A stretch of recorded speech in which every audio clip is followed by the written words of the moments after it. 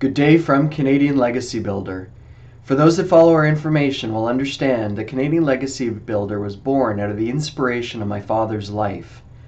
But now it's time we want to hear from you. We all know that anyone who has ever been loved by someone else leaves a legacy of some kind.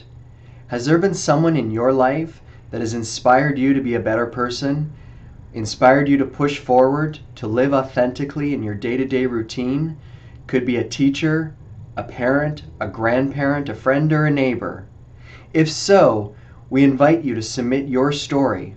If selected, your story will be featured on our homepage, our social media outlets, as well as compiled for an online and print version to help inspire others to lead a full life. For more information, please check out whoinspiresyou.ca.